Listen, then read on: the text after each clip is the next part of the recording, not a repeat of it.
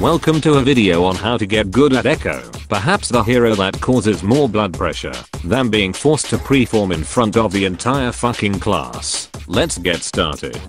Echo was the last hero added to the original game, and is a DPS hero. Like we already don't fucking have enough of those in the first place. Anyway, despite adding more fuel to the DPS problem, Echo offers a kit comprised of high amounts of mobility and burst damage. Her primary fire consists of a 3 pellet projectile shotgun that shoots in a triangle. Each one of the 3 projectiles deals 17 damage, adding up to a total of 51 if all of them hit. Though like Doomfist, despite the spread being rather small, the projectile velocity is on the slower side, so it is suggested to either keep close to the degenerate you're shooting, or if you are a pro, then you should lead your shots, as to ensure that you can actually land your triangle people fucker. Echo gets 12 of these equilateral shits before needing to reload, which should be more than enough to deal with any insignificant threat that dare stands before you. Echo's first ability launches out a volley of 6 sticky bombs Serious? That will explode shortly on impact with any surface or enemy. Each sticky bomb can deal 25 damage per explosion. However, it can also deal 5 damage upon impact, meaning that you can simply lob this shit at some poor idiot who's probably screaming at their mercy to heal them and watch as the blow ball of death will literally blow ball them as hard as the boyfriend in Friday Night Funkin'. Despite their name however, the cyborg ninja piece of shit can still deflect them using his shitty little katana knife, so be sure to be careful.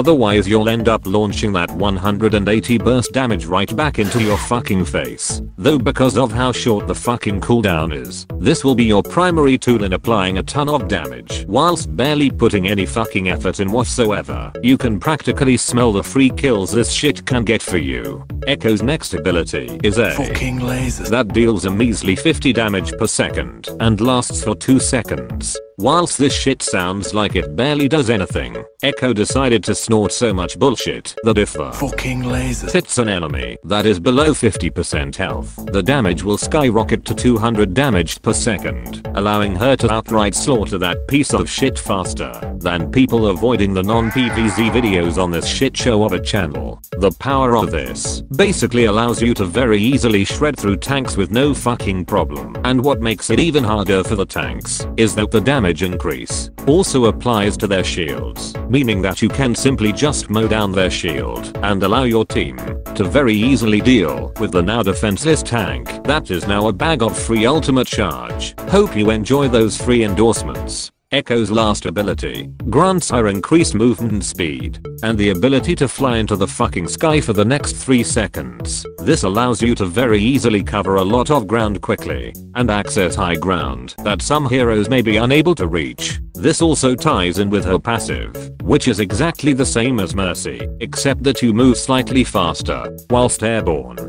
Lastly, comes Echo's ultimate, which basically allows her to become a clone of any member of the enemy team for the next 15 seconds, gaining all of their abilities and shit. What makes this even more bullshit is that during that time, the hero you have turned into gains 6.5 times more ultimate charge than usual. That specific detail allows you to very easily gain your ultimate within the first few shots or so, and even possibly have more than one ultimate within that 15 second time span. This shit is best used to outright overwhelm the fuck out of the enemy team from how quickly you can build up the ultimate as well as how many you can potentially get in that time. It is best to duplicate a character that has an ultimate that can be disposed of very quickly such as Reinhardt or Reaper. If you end up dying in the duplicate form then no problem as you will come out of it with at least 100 health and all of your abilities off cooldown allowing you to very easily recover from your fuck up and get out of there pretty much scot free.